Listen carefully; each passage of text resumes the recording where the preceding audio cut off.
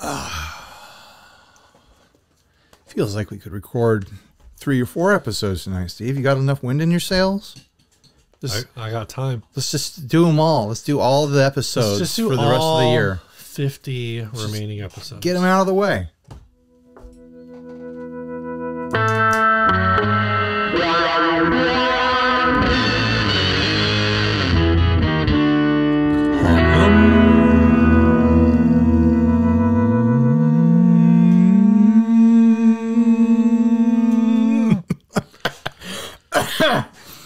Everyone, I'm Ryan. And I'm Steven. This is 60 Cycle on the Guitar, buying, selling, trading, modding, fixing, breaking, reviewing, playing podcast. Podcast. And We're in this video, We're going to start with a topic and then we'll get into the ads. The question of this topic is Should you sell your favorite guitar?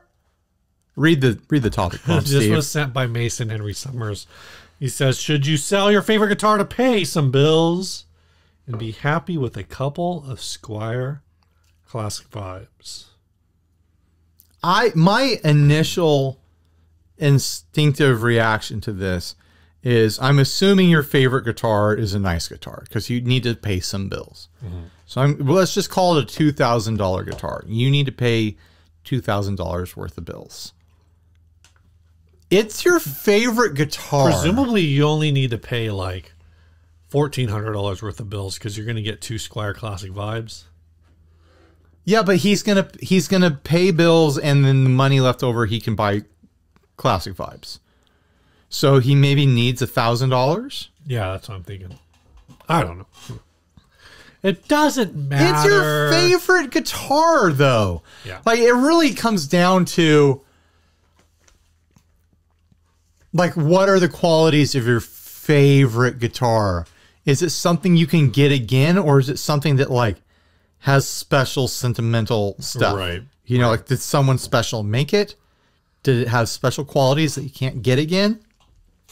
if it happens to be like something that's in production right now and when you get money back you can go buy a new one and you're fairly confident that like oh i'll get one that's just as good as what i already have then yeah i guess sell it and pay your bills but i don't know man if it's like if it's special sell your other junk sell the stuff that you don't like that's my gut reaction on it What is your favorite guitar?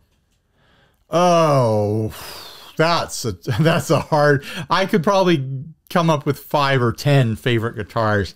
Uh, like if if you asked me like which one would I grab if I was running out the door and the, the Sure. house was burning, I would probably have the Ampro two in one hand and the Swept-Wing in the other. So two guitars. That's like my gut reaction right now is like I just grab those and run. The kids will still be in bed. Ryan's out Well, the I'll door. have, I'll have I'll have Henry around my shoulders, and I'll be holding Edith. uh, uh, like I'll be holding onto the back of her shirt with my teeth. no, so so I mean, I think that's that is kind of uh I like how my wife is not helping at all in this scenario. would, would that be like the last uh she's on she's in she's out on a girls trip. She's the one who set the fire. Jeez. Why are all the doors locked? She just went outside 5 minutes ago. That's so terrible and dark. Yes, hashtag not all women, just Ryan's wife. No, she. My wife is not going to burn down the house with us inside. It's not a concern at all. This is It's all not. humorous. You're the one who brought You know how we're this. laughing about this? Okay. What were you going to say? Um, no, so so I, I think that's kind of like that is Would I sell those to pay bills? yeah. Because those are both actually like well the swept wing I, I I guess I don't really know what the value on that is. New the- was 900. But the Ampro 2 is a guitar that you could list and probably sell like within a week. yeah, I think if I had to sell them quick, I'd be knocking them down a little bit and then I'd probably round out about two grand with both of them With together. them. Yeah, I think so. Um, I mean, the the the swept wing has it's been used. It's got some bumps Sure, and scratches and stuff like that. It's got some it's got some dinks in it that are well earned and it's it's, it's earned its grit. You know. and of course, like this is always a tough question because it, you could have picked like your gold sparkle strat, which is like worth basically worthless. Yeah, I'm I mean, gonna- it's not yeah. worthless, but it's it's a My- Mexican. it's yeah, a my hand painted Mexican. Yeah, Strat, Mexican so. Strat thing. Um, yeah, I wouldn't grab that. I think it's a great guitar from you know my life experience with it, but it's not Mm-hmm. one I grab as a player's guitar right now. I'd probably grab the Player Plus before that right now, just as a playable guitar, or the Yamaha. Mm. I mean, really, the Swept-Wing, the Player Plus, the Ampro 2, and that Yamaha. I grabbed those four, and I got a lot of bases covered Yeah. for what I like to play. But you, You didn't know. grab any bases, so you have no. Bases I have no, my bases are not covered. Would you? What? What do you? If you had to grab a favorite guitar in each hand as the fire is burning and there's you're somehow also carrying your two children, which two guitars are you grabbing, Steve? I'm grabbing. See that again? That's tough. It's like, what's my favorite guitar? Is my Red Telecaster. Right. I'm probably grabbing that. Functionally, you can't really sell that. You're not going to pay bills with that. yeah, I'm not going to pay bills with that. The Jag Stang, I could pay like a bill, Right. maybe. Well, same. Like sell those two guitars, and I can I can almost pay my mortgage. You Right. know, almost. I'd have to sell a lot of guitars to pay my mortgage. Um, really, if I'm gonna, here's the thing. Real talk. If I'm gonna sell things to pay bills, it's gonna be pedals because they're quick and easy Yeah. to move. I can list a lot of them. I know, I know not everyone has as many pedals as I do, but Right. a lot of us do have a lot of pedals. Mm-hmm. Let's be, a lot of us has too, have too many pedals. Let's be honest. It's a lot easier to list ten pedals than it is to ship one guitar. It's true. You know? it's true.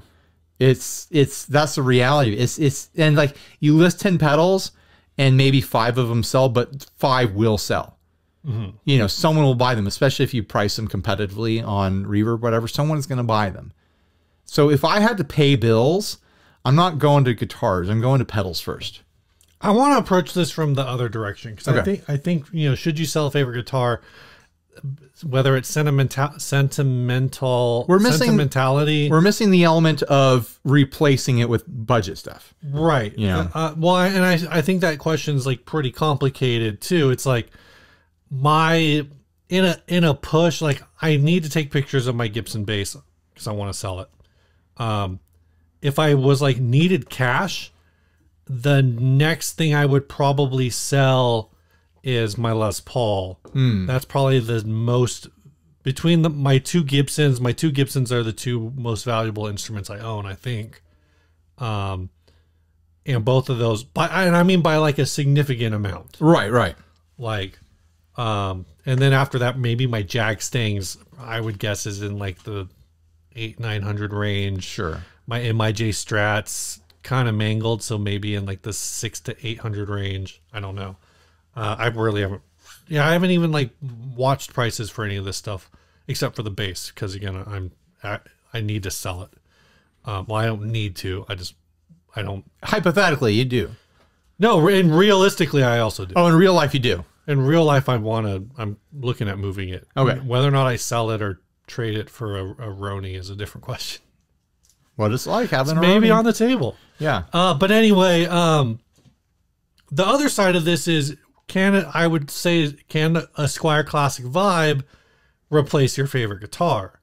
And I would say like depending on what your favorite guitar is, Maybe. maybe like there's a good chance. if if hypothetically I had to sell all my guitars to pay bills, I would absolutely consider getting back into uh the back into owning an offset via a classic vibe Yeah, yeah, jazz master absolutely or one of the like the 60th anniversary ones or something like that right. you know Some like kind of Squier. some kind of I, I could totally get back into owning an offset via Squier, via Squier. You know, uh, so yeah, I think that is a totally viable move.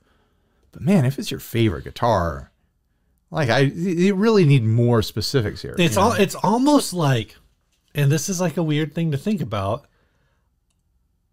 I think it's kind of like I feel this way with some music artists. Do you have do you have any music artists in your life where your favorite your favorite album by them is not everyone else's favorite album? And it's just because it's the first album you heard from them. Mm, I don't know. I don't. Th- I don't think I have anything that fits that very specific scenario that I could feel like you have something loaded from your own No, personal. no, no. I, I do. I actually go through this. I have this Okay, with okay. like multiple artists. Okay. So, like for example, I have found that the rift between uh, Death Cab for Cutie fans, whether their number one album is Transatlanticism or Plans, which were two albums that it was back to back albums, uh, really comes tends to come down to which album did that person hear first, and whichever album they heard first is their favorite. Okay. Um, so where I'm going with this is like, I could see somebody saying that a Squier Classic Vibe is my favorite guitar if they owned it first, and they maybe they also own. So you think this is a trick question?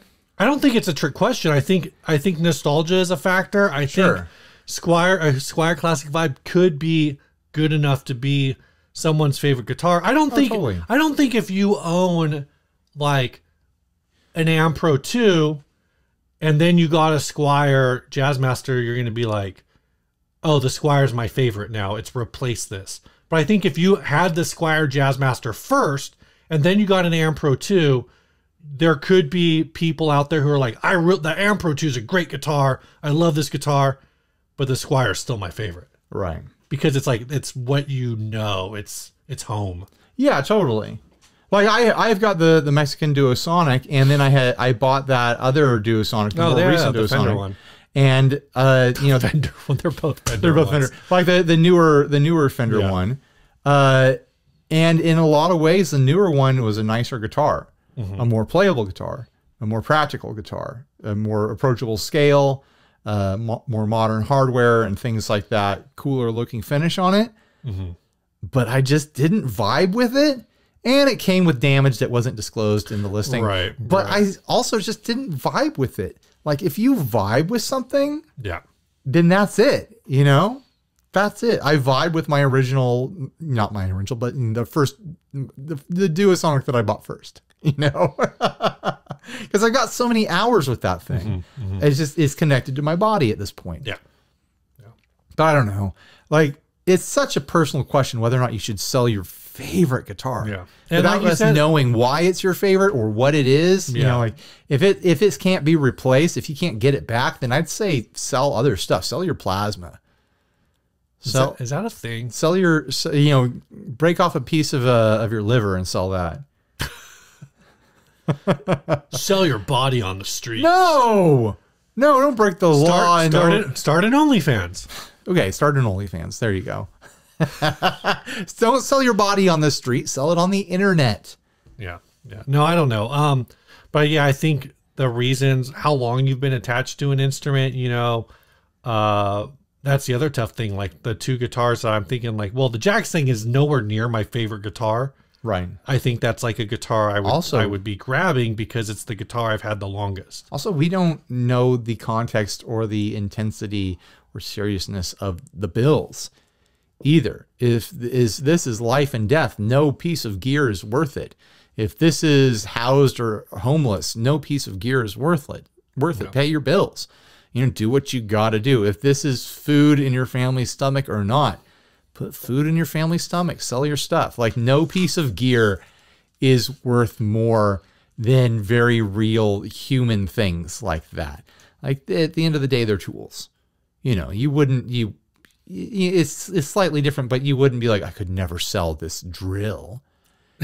you know, it's a tool for completing a task. We have we develop attachments to them, but they should not, you know, overtake the value of so many other things in our lives. But Ryan, this is a 1997 Milwaukee Impact drill. Right. One eighth horsepower. And this Are one- drills measured in horsepower? I don't know. This one came came in a very rare shade of red. There was a it was a manufacturing error. They only made a hundred of these drills in this slightly brighter red, and it's worth so much money. Oh Sell it and pay your bills. You know. But if if it's if you can pay your bills other ways and keep your favorite guitar, I think I think that's my vote. Sell the- sell the crap. vote. Sell the crap that's not your favorite. Yeah. I think that's It's your fair. favorite. Your- it's your favorite. That's the one you should keep. keep your favorite. Keep your favorite. Save up, get some Squier Classic vibes, make those your favorite, and then sell your favorite. Yes, the answer to this problem is don't sell things. Buy things. Buy. Th- you want to pay your bills? Buy things. Guys, this is 2023. The economy's in trouble. The GOP is still not chosen a, speaker Steve, of the this House. is this is a week and a half later that you're saying this. I They know. still probably haven't chosen a speaker of the house. that was the joke, right? right. Okay. All right. Uh, Such old news by the time this is airing. news. Uh, Old news. Yeah, I don't know. That's a tough spot. I would just like. Do you have any kids you can sell? Can you go get uh go go drive for Uber for a little bit? Yeah, yeah. Sell your sell your mileage. Amazon. What's that? Amazon Flex. Is that a thing? That's where like you You deliver, deliver stuff? Amazon packages in your personal vehicle. What what happens if you sign up for that and you end up delivering packages to your own house? I bet that happens. it probably does all the time. I, I'll I'll drop this off on the way home, but then like because of the way that the system is, like you have to drop it off within a certain time or you get dinged. So you have to like you have to deliver stuff your own home. You're like, this is so stupid. I could be doing other things right now. All right, let's let's get into ads. Yeah, let's do an ad. This ad uh, was sent by Well, let's- Matt let's- Good. Let's remind everyone we are in 2023 and maybe beyond, we are making an effort to make sure that this program, 60 Cycle Hum, the, the audio podcast or the video show on YouTube, gets the most extreme of eBay, the most egregious of eBay, the most ridiculous of reverb, the craziest, the crustiest of Craigslist. All these extreme adjectives of various places you could find used guitar ads. We want to see all of them. And the way that we're making that happen is we're picking a favorite of three ads that we cover every episode and awarding the person who submitted to it to us via email a $20 gift card to the retailer of their choice, depending on their geography. Send that ad to 60 cycle humcast at gmail.com. Uh, you could be a winner and earn your spot on the in the hall of adventurers. No, it's the Adventurers Club. you I- could win a spot in the adventurers club. We're gonna make this happen. I got Trademarked. I got a plan. Steve has a plan. All right, Ryan. Okay. We got ourselves a classic art guitar here. This was sent by Matt Good. Uh, he found this in a group called Guitars for Sale. The seller says, This is all hand done by myself, asking $250, no other details. I think I oh, you know what? I know what this is. God, this is not worth $250. is what is a, it, Steve? This is an Epiphone S310. Ah. One of those ah. Batwing Epiphones. You think it, I, the headstock looks like it's been reformed, it's re, though. It's reformed. It's a reformed headstock. But remember, we had this whole thing where we looked at uh, Epiphone Strat copies a few weeks ago, and the thing that stood out to us is how shitty the hardware looks. Right. That's that's got to be this hardware looks like that to me all right. I think that's all right. what this is. Oh yeah, those bridge saddles and stuff. Yeah. it could be. Well, also, there like was the- a lot of guitars that had those crappy bridge saddles. but also like the pickup covers. Like Yeah. the fact that that strat the bridge pickup is like slightly ever so slightly more forward than it's supposed to be. I think the pickguard has been put on, or this is the wrong pickguard because look at that gap. I think the whole pickguard is just put in the wrong place. Oh, maybe. Also, uh, I don't know how that bridge is staying in there because there's no springs holding it in. Look at the back. It's just pulled all the way. This thing's a mess. There's no output jack. We don't even need to talk about the art. We can talk. I didn't even notice the output jack. Right. Th- th- th- This guitar uh, functionally is a mess. It's an art piece at this point, and they're asking 250 for their art. All right, let's talk about the pros. Okay. Pros. Pros before hose, right? Front of the guitar uh has a like the front and back of the guitar have several this is very folk arty. um nice Johnny Cash references. Uh, you know, it says the man in black. It's a black Strat style guitar. Of course, Stratocaster is uh, what Johnny Cash is most famous Yeah. for. I stole that joke from you. Yeah, I made that before we were recording, so thank you for making sure you said Um, that, Steve. the The guitar has flames on the front, you know, which is a reference to Ring of uh, Fire. Ring of Fire.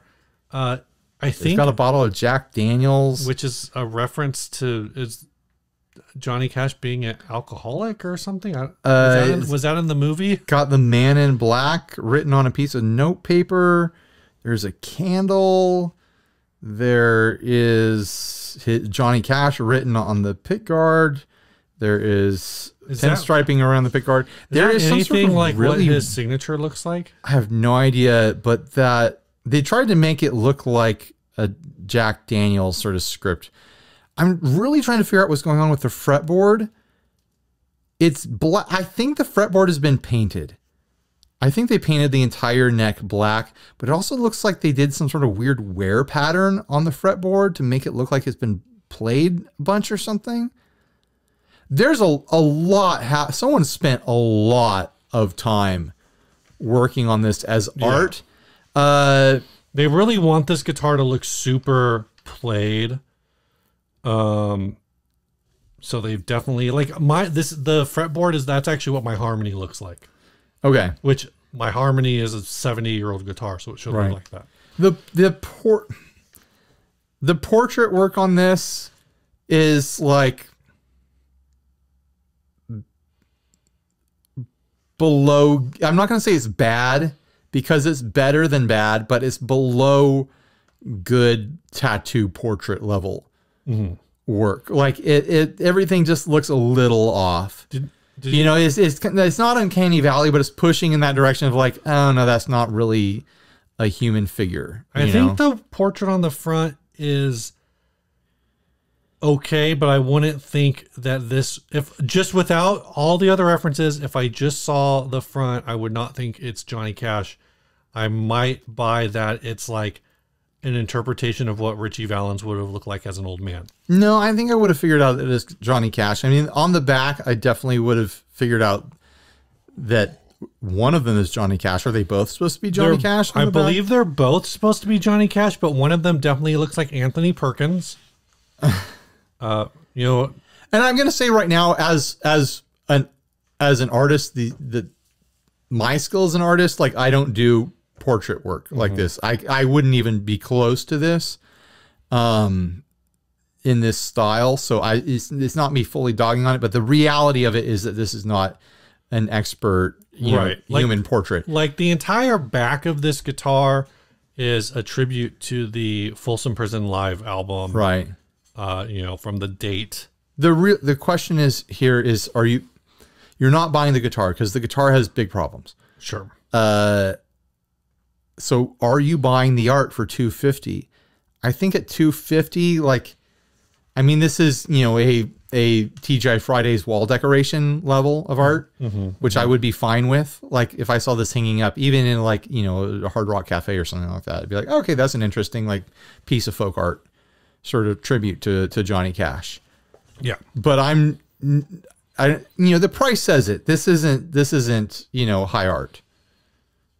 And I don't think the the seller thinks it is anyway. Here's here. Okay. Here's my here's my problem with this. Okay, okay. I've got a couple. The more I look at it, the more I wonder if the things being on fire on the front is uh, a happy accident that they did not intend. Is it fire or is it smoke? Either way, like I don't. uh, Maybe it's supposed to be smoke. I think it's smoke. Um, so maybe it's not a Ring of Fire reference. The reason I say that is because the lyrics on this notepad, notebook, whatever, uh, is Man in Black. The big title on the front of the guitar is Man in Black. On the headstock, it says Johnny Cash, the Man in Black. On the back of the guitar, if you, uh, oh, it, it just says Outlaws and Johnny Cash and a dollar sign. It says Johnny Cash all over this thing. Th- this is a very um It's a theme. it's a very singularly themed does not give Johnny Cash a lot of depth. Um Also a custom guitar spelled C U S T U M. Yeah. Also, uh, Man in Black was an album that was released in 1971, so it would not have been on the uh, Folsom Prison Blues album. No, it's a tribute. Like it's not meant to be anything more than a tribute. But I'm saying like it's such a specific tribute that like it's it's like uh oh also he performed the perform the prison performance was at San Quentin in 1969 was there more than one? I don't know. Well, he had a song, uh, Folsom. No, I know. I Yeah. know. It's a, it's Okay, he recorded in he Folsom Prison Blues live was in 1968. That album. here's here's the question, Steve. Yes. For two fifty, do you think it's do you think it's worth the cash? No. I'm not saying I'm not saying for you because I would not buy this for myself for 250. I wouldn't I'm not going to decorate my house with this. Well, then who would you buy this for? But like in the in the scenario where I like I said like you know decorating a TGI Fridays or like a Bennigan's or something like that, like a a bar. If you're decorating a bar, If I was a bar owner, do you think that this would be a like at that price, the mojo that you're buying with this kind of folky art take on this, you hang this behind the behind the bar as a decoration sort of thing. Uh you know, you could spend 250 on all sorts of like stuff that's decorative. Sure. That's less Okay, got yeah. less going on. if with that as the criteria, then this would be a buy, buy, buy. I think it's a good buy. This bar also has to have a like 1980s Budweiser sign and a Velvet Elvis. sure. No, it's for a specific vibe. Yeah. So You know. uh, maybe it's got a Dale Earnhardt poster somewhere. Um, it's got no, yeah, we're not gonna go with Dale. Dale's too new. We're gonna go with like one of the old uh Petty, whichever the Petty was. Sure, sure. Richard Petty from like the 70s. Um, the jukebox is Elvis, Cash, Haggard, Waylon Jennings. If you come in and you ask for any song newer than 1985, you are banned from my bar for, Right, for right. life. Oh, what's that? You want to hear some Toby Keith? Go fuck yourself. You're no longer welcome. If you come back again, I will shoot you for trespassing. Right, right. Toby Keith. Keith Urban? He's not even American. How can you make music about a country, the United States, when, When you're, you're not the- even from here? You're not you're not from the right country. I didn't even actually know that he wasn't from I don't actually country. I don't actually believe that. I did always think it was funny for I apparently Australia has a has a bustling country music scene. I want to. I uh, want to hear country music from all over the and world. I will say Quigley Down Under possibly one of the great cowboy movies. Oh, you're a, you're a big Quigley fan, huh? Big Quigley fan. He's he's see, Steve is on all the Quigley Facebook groups. Are there Quigley Facebook Groups? I guarantee you there are. There's probably like 12 people in it. I literally out so uh, it's probably because there, there's 12 people in one group. There's there's there's 14 in another because they had a split a few years back over something they couldn't agree on. It's big drama, and they have a whole podcast about it. You know, there's there's rival podcasts too. uh, no, there's a video on YouTube that I found really fascinating where somebody fig tries to figure out uh, how they're how how well do you know that movie? I have watched it. Okay, but so it's been probably 15 years. Yeah. So okay. So there's a scene in the movie where uh, they like the uh, this guy on horseback runs out and he like puts a bucket down and basically uh, uh, Alan Rickman's character is like, go right out there, put this bucket down, and we're gonna see how good of a shot Quigley is. Basically. Oh yeah, yeah. I remember So they this run out scene. Yeah, yeah. So there's a YouTube video where someone get, look looks at the horse and is like, that horse is going as as fast as it can, which is like 20, like 25 miles or 35 miles an hour, and it does it for this many seconds. So that bucket is at approximately like the yardage, and then he figures out like, is this shot even possible? Right. And it's like, yes, it is possible if you are the absolute greatest marksman with this particular weapon but like the bullet and the load would actually reach out there and like be able to reach Okay. but it was like some ridiculous like 680 yards or anyway yeah i watched that video ryan do i like quigley down under Come on. Have you seen Quigley Down Under, or did you just watch that video on YouTube? Oh yeah, no, I really uh, I only watched the video. I've never seen the movie. Are you being serious? no, I've watched that. Okay. That was a movie that was like if it if that movie came on TV in my house, we watched it. When I was a, when I was young, I always thought of like Quigley Down Under is to Crocodile Dundee what Romancing the Stone is to Indiana Jones. But I, looking back in I can- hindsight, and, and I think because they were marketed that way, like here's an Australian Right. adventure. Looking in hindsight, like Quigley Down Under is definitely not trying to be Crocodile Dundee. No, Crocodile Dundee is very much like a fish out of water Right, story. right. It's a very, it's a much more unique movie. Um, Well, they're both unique movies, but you know, like Quigley Down Under is a western. yeah, Quigley Down Under is very much. Um, I, I don't know what you would compare it to, but it's like it. It's a fi- it is a fish out of water story, but it's also like a real American cowboy Right, going to Australia, where they also have cowboys because they have ranches. right. uh but it's all like a little bit of a of like a are these guys real cowboys american cowboys are the best Right, right. They're they're down here. They're roping kangaroos. We're up in America. I I rope cows. yeah This big difference, right? They don't Something have like that. They don't have cows down in Australia, right? So okay so what about you for 250 are you putting this in your bar Yeah, for sounds- two, i think you're no putting for, this in your for bar if I was in charge of decorating a bar, like someone's like, here, here's a budget of a bunch of money, like go get me all sorts of random things to decorate my bar. But this would be no brainer. i can't imagine trying to run a country bar in 2023 like i'd have to play so much music that i do not like That's the issue. yeah Steve would have to That's my problem. Music that he doesn't like. You know, it's your bar. You choose what happens there, Steve. yeah but you gotta make money man You do have to make money.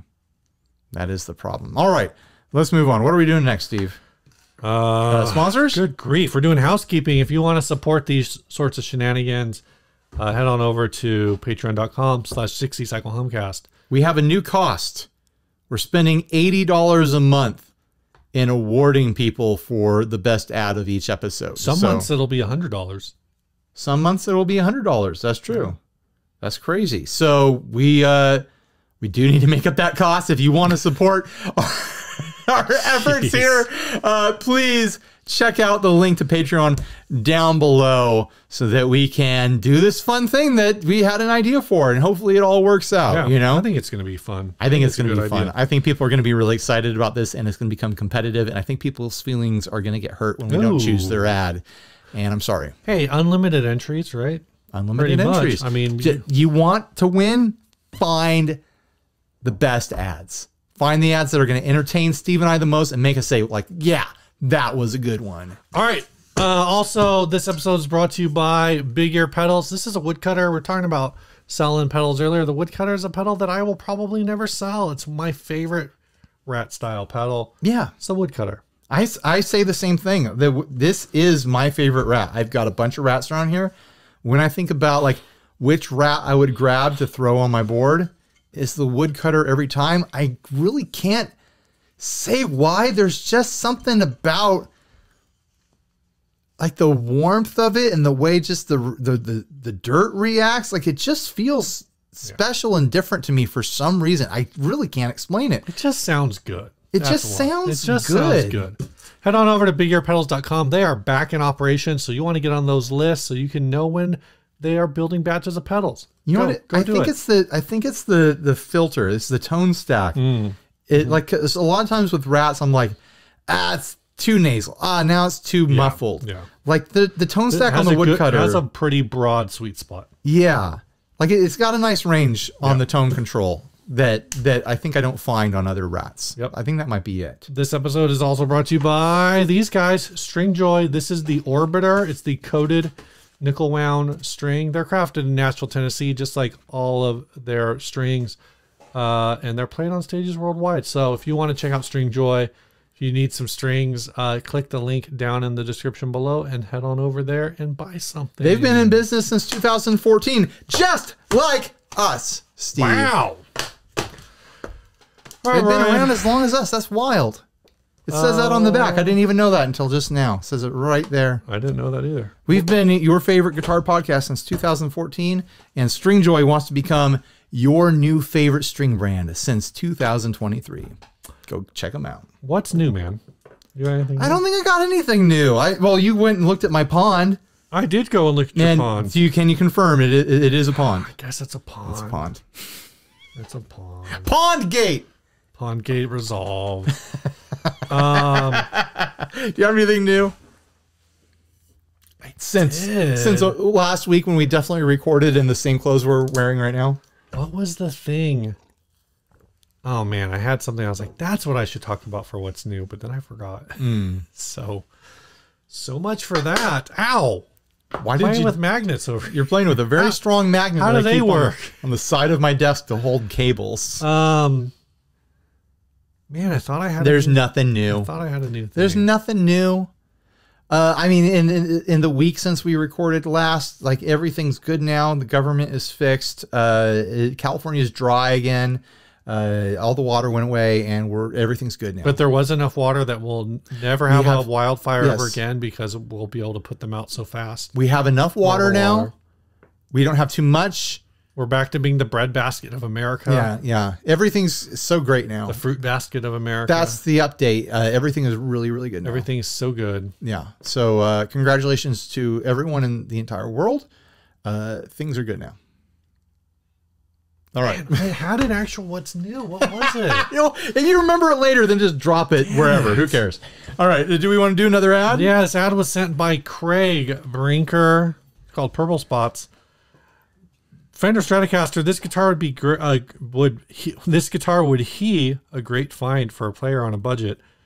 Uh, it has new strings and the guitar itself works great. The previous owner, for some reason, has attached purple fur spots. That's oh my god, that's what that is. It, yeah, they used to be purple fur. Now it just looks like uh, black streaks. You would, re- if you would, re- or you would remove these if you buy it. The guitar would look much nicer, brand new. This guitar costs over eight hundred dollars. Well, that that's not exactly. And yeah, okay, I looked at the serial on this. Do you want to take a guess at the at the age? Yeah, it's a two thousand two. How did you do that in your head? Because I know how to read Fender serials from nineteen ninety to now. Okay, which part of it tells you 2002? The so the in the nineteen nineties, Fender Mexican guitars um, used an MN serial. Okay, and since and this then is, a number. and this since this is an MZ that told you it was 2002. Are from the no, so MZs are from so MN is from like 1990 to 1999, I think, and then MZ was from like 2000 to 2009, and I think in 2010 they switched to MX. Now I don't, I guess I don't know what the current one is if it's still MX. so And then after that, the first number is a pretty good approximation of the year of manufacture. So 2001, so like 2000 would be MZ0, 2001 would be MZ1, 2002 would be MZ2, 3, 4, 5, etc. There is some variation on it where sometimes like an MZ2 might be made in like late 2001 Sure. or in early 2003. Steve, do you do you feel that right now? What's happening? No, because I People are actually learning something by watching this ridiculous show that we do. That's crazy. I thought that was common knowledge. I didn't know it. I had to look That's it up with a common. serial number thing. So 2002. Where, uh, I will say where I get screwy, I do use the serial number data uh, frequently. Is like when you start looking at stuff like it from the 80s, they used a different letter every year. Okay. And for Japanese stuff from 1984 to 1987, they just that's all Japanese E, what they call E series. But if you're looking at years. Mexican fenders, you're probably looking at something late 90s Yeah. through current. Uh, so in 2002, these were probably not selling for 800. no, in 2002, this would have been like a 350 dollar guitar. Okay. Uh, in I I looked up some 2002 Mexican fenders. Do you want to guess what they're going for right now? I would In guess in unpurple dotted. in unpurple dotted, fully normal condition. Right, this thing's not just purple dot. It's The, the finish isn't. It's missing uh, two pickups. It's missing a switch. It's missing a pot. It's missing knobs. Well, it doesn't need a switch because it only has one pickup. It has an, a single EMG. The pick the pickguard has been mangled multiple times. Like there's all sorts of stuff going on here. Where do you? Where's the besides the cutting out for the EMG? there's extra holes around and stuff and like it's just you, you would need you'd need to invest probably $150 into this guitar to get it stock Yeah. Um, so with all I would I wouldn't take this back to stock unless, Okay. unless I just No, this parts. is- if I did if I had parts laying around. this is an opportunity to mod for sure Yeah. uh, so in assuming in stock clean condition Four hundred dollars. you think $400 on the used market for 2002 Two thousand two in normal condition, you're gonna find listings between three hundred and fifty and five hundred dollars. so uh, when we first started this podcast nine years ago Yeah. we could you could almost guarantee that that was like the value of Mexican strats. Like No, Mexican we strats were just like 300 400 dollars. That's what you, you that's what you pay for them. Yeah, I and, I- and when we started this show in 2014, I would not pay more than three hundred dollars for a Mexican Okay. I looked up I only checked eBay. Okay. I was seeing 2002 Mexican strats go in the 6 and 700s. Really? Yeah. Wow. In clean condition. Wow. So I, you know, if Craigslist is a different story, local, you know, Facebook Marketplace stuff is a different story, offer up and so so on. Uh, you know, there's there's deals that happen. I'm sure Reverb is a totally different story. yeah, I'm looking at Reverb right now to see uh if I can pull up the pro.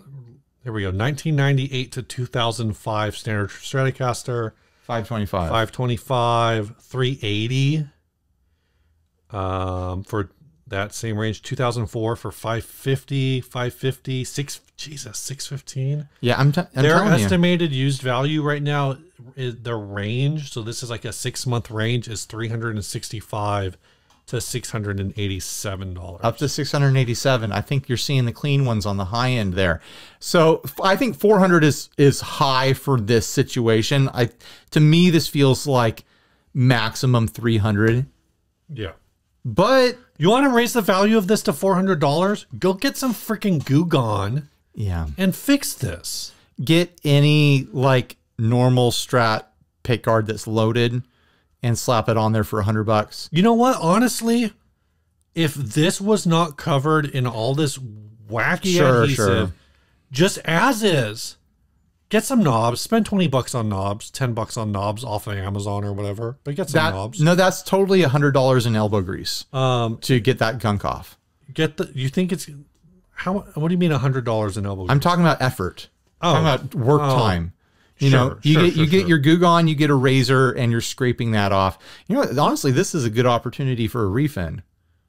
Yeah, it could be. You you hit Um, the, you hit this with a heat gun. You just pe- that peel off that that plastic poly with a heat gun and a scraper, and you just take it down to wood. Of course, is it real or not on the headstock? Going back to the headstock, the first thing actually I noticed when you started talking about the serial number is this uh, cigarette burn. Yeah, there's Like that said, going it- on it- too. Is it a thing that it, which is weird because normally you associate It looks like, like, so much more than a cigarette burn, though.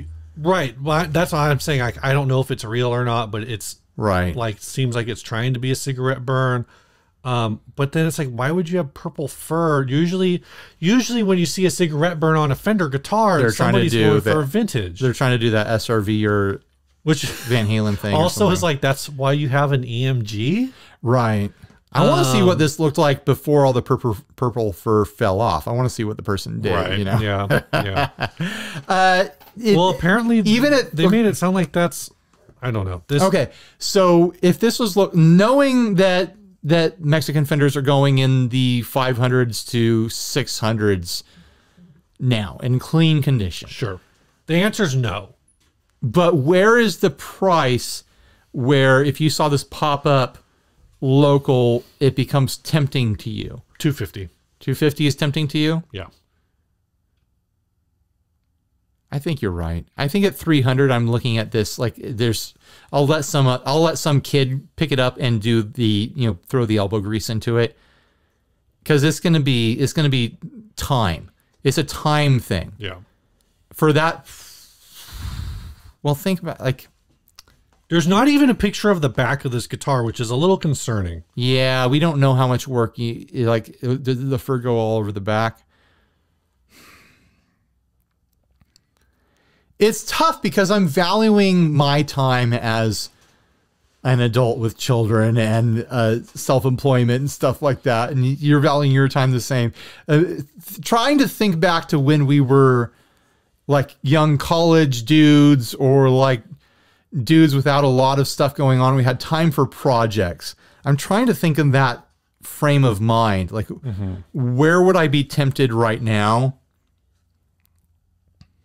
And I, I still think you're right. I think 250. Yeah. I back in when we were in college, when I was in college, because you and I were in college, and But you have to upscale for like current prices. sure. Uh, Like what you're but that's what I'm saying. Like 250. because you're getting a neck. You're getting a Mexican neck, which they're great project necks. They're, you know, a Fender Mexican Strat neck is a great place to start a Sure. project. They're great necks. Uh, the body is like okay, like it's a it's a Strat body. You can get Strat bodies all sorts of different ways. Uh, I don't think there's anything special about the wood or the build of Mexican Strat bodies that is a Strat. It is compatible with millions of parts out there. Everything else about this is swappable. It's really the neck you're buying. It has the cigarette burn thing going on, which some people might like the look of. It's not an it's not a deal breaker for me, but you really are buying the neck. And then the rest of it is work. So yeah, I, that's how I feel about. It. I think I think, think you're right, Steve. Two fifty is the tempting price, where it's like, oh yeah, maybe maybe I'm ready to start a project, and this could be a project starter. You know. All right. Do you have anything else about? To, I'm not done with this yet. all right, all right, all right. Hands off. I'll let Steve finish. Right now, apparently 17 miles away, or 1.7.1 miles away, you could get a classic Vibe 70 Stratocaster for $350. That's a classic vibe, though. but that's $50 cheaper than what this is currently listed for, and it's freaking cherry. right.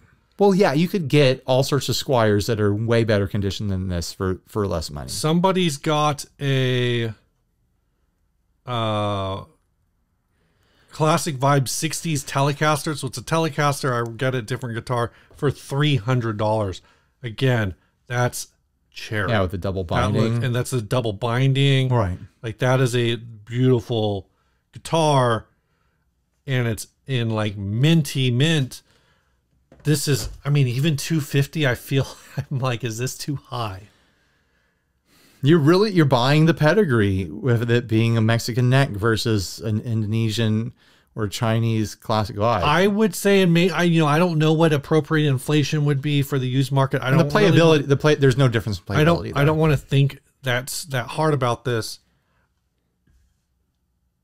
I think for this to be interesting in like 2012, 2014, when we started this, it would have to be like 175.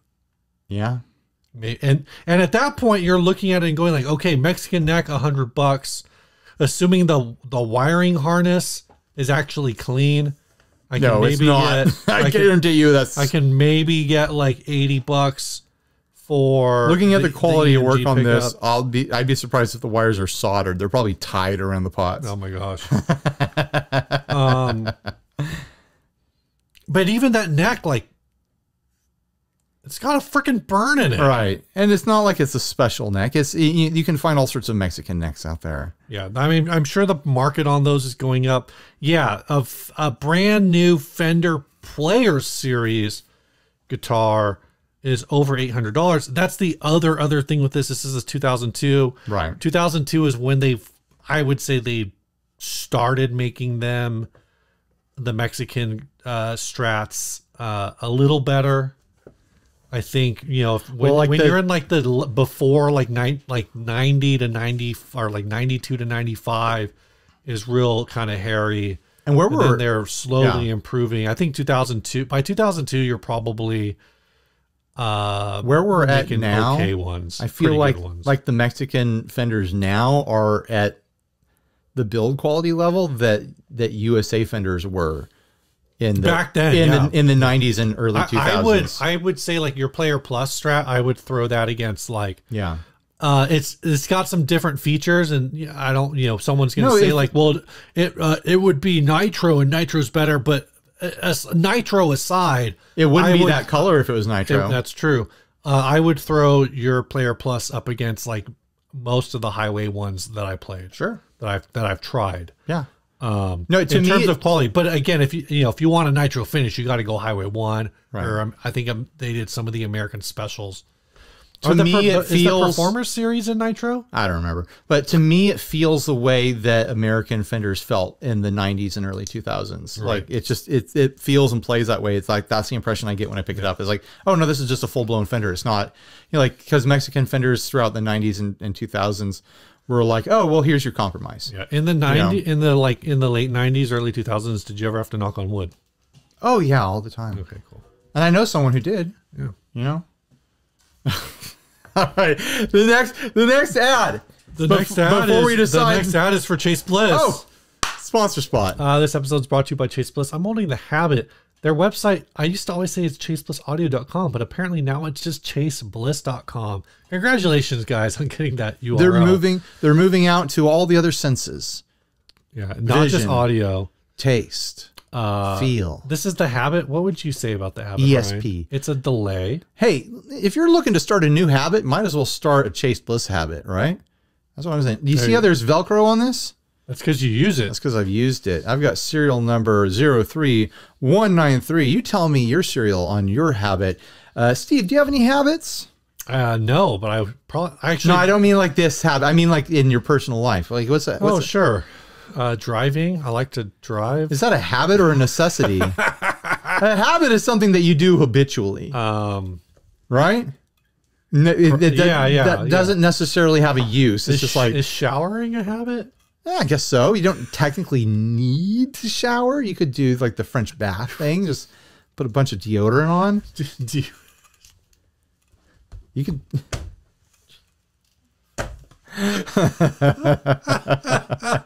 I'm sure I have a lot of habits.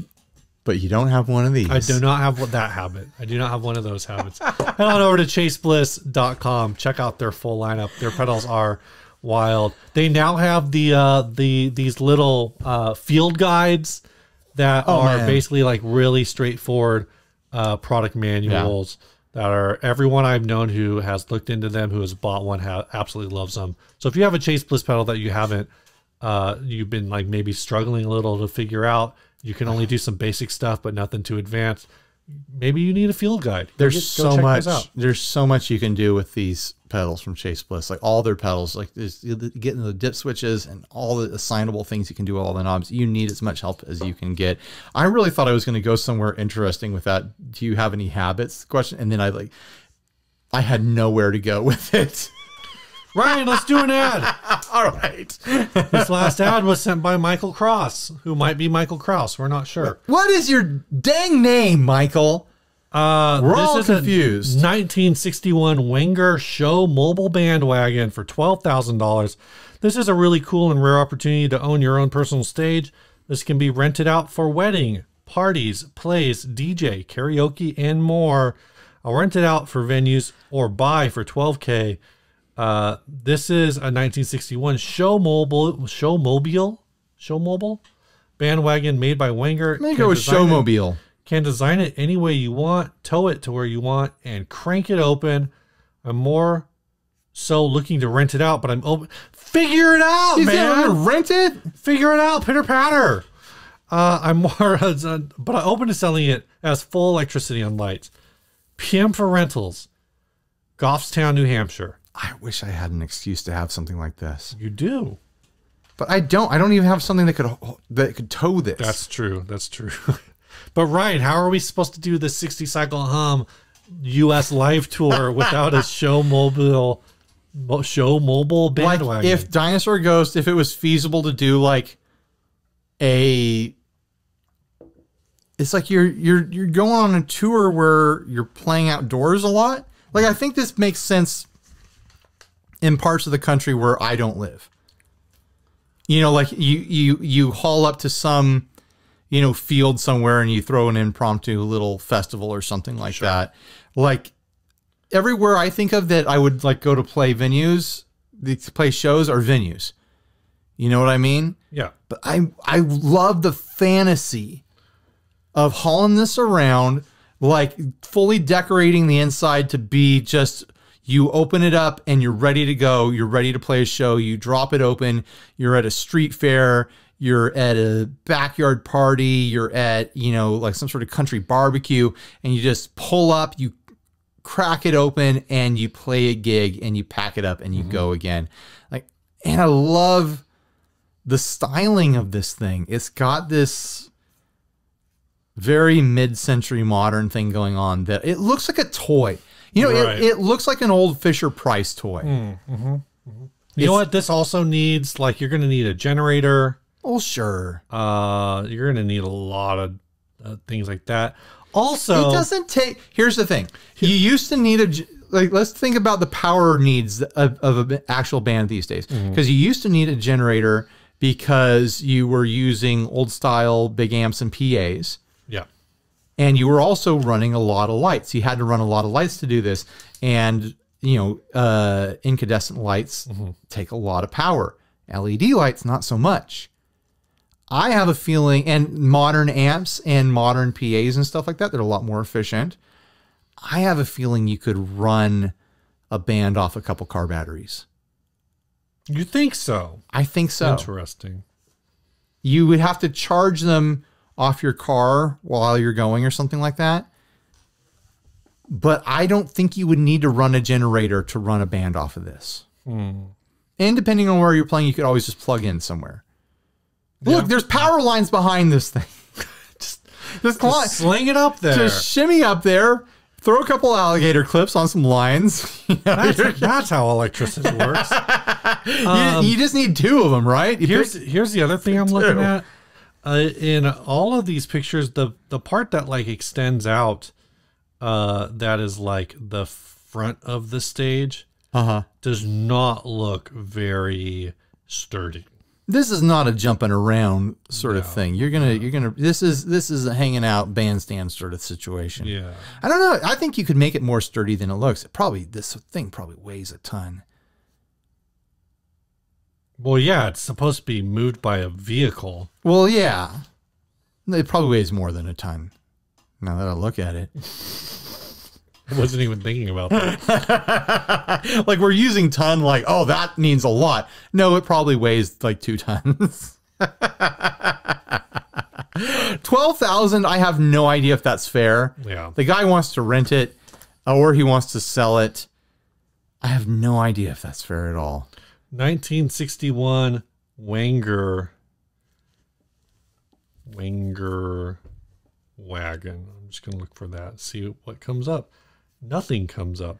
Great. It's one of a kind, Steve. It's priceless. Something like that. Man, it would be fun to do shows with that thing and be able to set it all up, have it decorated. I know I said that already, but I'm just sitting here thinking about Like it. it looks cool. It looks like it would be fun. Yeah. Um And for a surf band, you don't actually need a PA. You know? yeah. You know, our, our friend David, he got he he was in a band that was trying to rope him into like splitting the bills to have one of these sorts of things. Like they had some sort of van or uh, RV conversion that had like the drop down stage side on it. And the band bought this thing and they all split their money. And then they brought him in to be the drummer after the fact. And they're like, oh, hey, uh, you need to help split the cost of this thing. And he was like, no. I, I, I didn't make the decision to buy that. I'm I'm not on board. I'm not going to split the cost of that with you guys. And apparently it was a big problem with the rest of the band. And it's like it sounds like you guys are trying to find band members just to help you pay for your bad decision. I mean this thing I guess this thing is maybe bigger than I, I found some like pictures of them. well, imagine someone standing in the back. It's it's good size. It's probably Yeah, pretty good size. You can fit like it's like six people across, so you could spread yourself out yeah. Pretty wide. It's no, I'm looking at this and I'm I'm seeing something that's bigger than most of the stages I play on. yeah, yeah. I don't know. I mean, like there's if you Would look you buy it? Wanger bandwagon. Everyone out there watching and listening right no, now. No, Wanger Band Showmobile. That's what it's actually. Showmobile is what it's called. Right. Yeah. Hmm. Changing my mind. It's hundred percent worth it. No, I'm not changing my mind. You know what this would be fun for? What? You ever seen the uh like the backyard uh uh like shed bar thing? where people get like an like a shed and they convert it into like a fully themed like tiki bar or like sports bar or something like that. This would be a really cool thing for that sort of deal. Right. Like a you put this in your backyard, you fold it out for parties, and it's just a full blown sort of like experience in there. Yeah. Yeah. That would be cool. That would be cool. I like that idea. Yeah. wouldn't- would you spend twelve thousand dollars on that That's idea? no, probably not. No. But I love the look of it. All right. You could like the thing is is like I mean the fold up part I guess would might be the tricky part. I don't know. Somebody said we should get construction jobs since I don't know how much 65 pounds is or whatever. Um, Do you still think I can't lift 65 pounds over my head? You can lift 65 pounds Okay. over your head. Someone said they were with you on that. Um, but what I was thinking is like this is twelve thousand dollars. If you didn't like need it to fold up, uh, you could probably build this. I mean, I guess building stuff is hard too Here's the thing. for me. What's it like inside when it's all closed up? Could you Airbnb this? Because it could pay for itself. Can you Airbnb something that doesn't have a bathroom? Probably. If Airbnb won't take you, I'm sure VRBO will. All right, uh, now we have to decide. let's decide. What This one's tougher. Last last episode was like a no brainer with that Muppet drum kit. yeah. Um, How about we just do it on three? Well, I'll go three, two, one, and then we'll just say. What I feel like. I need to talk through it a little bit. Okay, I already got my. I know what mine is. But if I was to if I was to choose to have any one of these things for myself, mm-hmm. I would choose the travel stage. I don't know where I'd put it, but I don't think that's what makes necessarily what I would vote for for an ad. I think I'm gonna I'm gonna vote for what I had the most fun talking about, what I felt was most engaging. Okay, you As ready? an ad? Can we count down? Okay, I'm ready. I'm ready. Three, two, one. Purple, Purple spots. spots. All right. All right. Uh, who I wonder that? how often we're actually going to disagree I don't know. because we're kind of like on the same vibe a But lot that of the was sent by Craig Brinker. So congratulations, Craig. We'll reach out to you somehow. We'll have to figure out where that ad came from. Welcome We'll to the Adventurer Club. yeah Is that what it's called? Adventurer Club. Adventurer Club. we'll figure something out. We're gonna lock like it that in. We're gonna have a graphic. We're gonna have like a, a, a Hall of Fame. We're gonna have a, a membership list All right, for gonna, the Adventurer You're Club. gonna drop some some uh, images. I will make make you a some header for your spreadsheet that you make. Is there a way for you to make a spreadsheet that everyone can view, but only you can edit it, sort of thing? Yeah, I could do that. Um, or what I was just gonna do because it would only be like once a week. I could integrate it into my pod when I update the podcast on Sunday nights. Is I was just gonna put it on the website. That's Oh, what I, that's what I'm thinking. You want a website page for it? yeah, Okay. I can do that. Adventure That- Adventure that's why when we were talking about it last week, I was like, I have an idea for this. The upfront effort is going to be more significant than I like, but I think if I can get it to where I want it, Well, it's just it's WordPress. Just I know in- it's yeah. WordPress. I, WordPress isn't super hard. I had to edit our marketing, I had to edit our support the show page the other day because uh, somebody was like, "Hey, yeah, international shirts, thirty dollars sounds great," and then I was like, "Yeah, let's do it." And I went to ship it, and the the shipping to Canada was like twenty five dollars. Yikes. So, but that's what we had on the site. can't get shirts from Teespring. I, I guess I could have done it that way, but it was like a shirt. It was like a shirt sticker patch pack. Oh, okay, for Patreon. Yeah, it was, All no, it was like the old what was used to be on our. It was what used to be on our website for like Oh, when, when we had like a hundred shirts. Right, right. And I would we would just get money and I So would we ship- haven't updated that well, website it's, forever. It's, it's updated now. okay. So, uh, anyway, We run a tight ship over here. this song Serious business. this song was sent by Ryan Burnham. He says, "Dear Rocky and Bullwinkle, this is something from a synth project I've been working on while living in a car and traveling around the U.S. and Canada. Figured the whole thing would be too long at 10 minutes, so it's only the first half or so. There's no guitar on this yet because of the whole car thing. So all of it was recorded on a Nektar MIDI uh, controller with some free synth VSTs. This is part of my solo project, Impatient Optimist Club, and the song is called Trailblazer. I believe I he sent us some stuff, and I was he on the Christmas comp? I think so. All right, we're gonna play this. It's called Trailblazer.